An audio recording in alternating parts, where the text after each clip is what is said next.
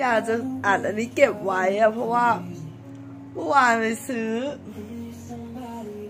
เฮ้เป็นใหญ่มาก แล้วก็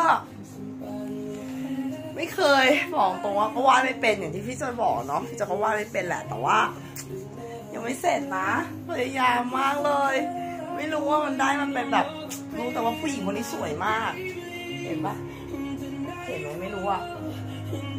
รู้แต่ว่าสวยมากแต่สารภาพว่า เป็นคนวาด portrait ไม่เป็น แล้วก็อย่างที่บอกไม่วาดภาพไม่เป็น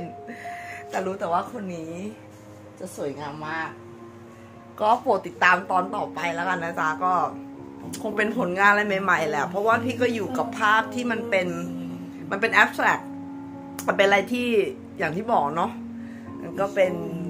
สิ่งที่มหัศจรรย์ที่ได้มา แล้วก็เยอะแยะมากมายเลยทั้งในห้องหลายๆหลายภาพหลายร้อยภาพแล้ว แต่ว่าดีใจที่ในช่วงเวลาที่ผ่านมามันได้ค่อยปรับ แล้วก็พัฒนาตัวเองขึ้นมา ซึ่ง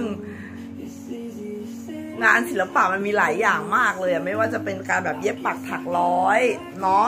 เย็บเสื้อผ้าอะไรเงี้ยก็ทำมาแล้ว ออกแบบเสื้อผ้าอะไรเงี้ยแล้วก็ทำมาแล้วแล้วก็ มันหลากหลายอะคือคืองานศิลปะมันคือ art for living อะอย่างที่พี่จอยบอกเพราะฉะนั้นคือ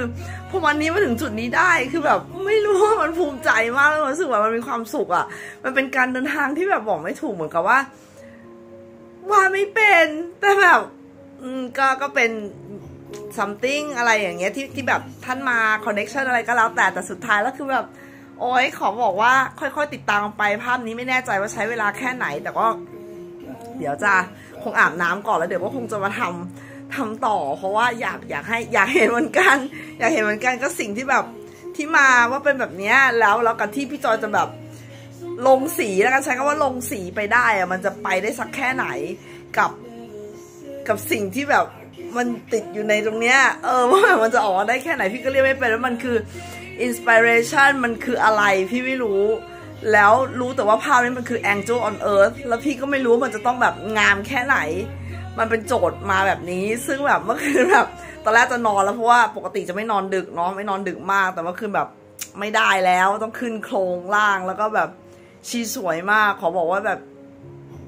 โอ้มันสวยอะมันสวยติดตาพี่แต่พี่ พี่จะถ่ายทอดออกมาให้แบบที่สุดอะ ให้เห็นความงามของเธอคนนี้ละกัน ก็ไม่รู้ว่าฝีมือจะแค่ไหนฝากเอาไว้ด้วยนะจ๊ะใน Butterfly J วันนี้ก็คงมาเป็นโหมดแบบ painting นิดนึงรู้สึกแบบว้าวว้าวว้าวว้าวกับตัวเองหลังจากที่รู้สึกมันปลดปล่อย มันรู้สึกเป็นอิสระมัน independence มันมันมี freedom ในตัวเอง มันเรียกความเออเขาเรียกอะไรอะ จริง ๆ ไอ้ตัวความมั่นใจอะ confidence อะมันมีอยู่แล้วล่ะ เพียงแต่ว่า มันรู้สึกภูมิใจ ในช่วงเวลาที่เราฝ่าฟันมามันยาก แต่เราผ่านมาได้ แล้วมันก็เป็นช่วงเวลาที่ใครอาจจะมองว่าเหมือนกับแบบพี่ชิลเหลือเกิน แต่พี่รู้สึกว่าพี่มีความสุขกับวันนี้ว่าพี่ผ่านทุกอย่างมาด้วยกำลังใจที่เข้มแข็งกับหลาย ๆ อย่างที่แบบสปอร์ตมาในช่วงเวลาแบบ 3 ปีที่ผ่านมา วันนี้ก็น่าจะเป็นแบบ Angel on Earth ที่สวยงามมาก เดี๋ยวรอติดตามกันต่อไปแล้วกัน Butterfly J ฝากมาด้วยบ๊ายบาย